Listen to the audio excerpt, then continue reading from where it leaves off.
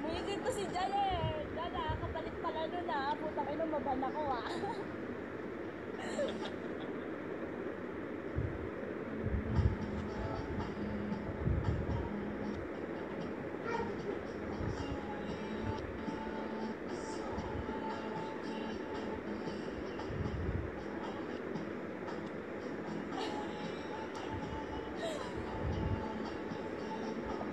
Uy,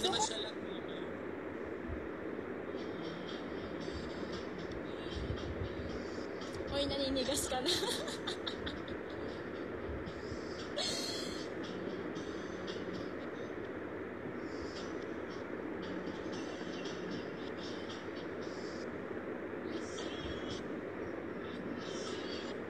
Ang daming bastos eh, no?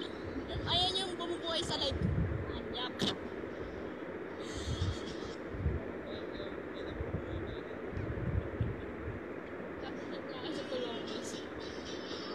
Yan yung bumubuhay sa live.